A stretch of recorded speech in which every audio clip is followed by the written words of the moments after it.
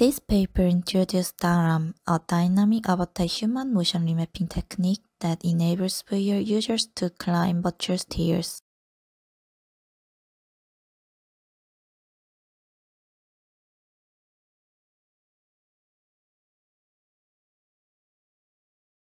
In rear stair climbing, the knee is flexed.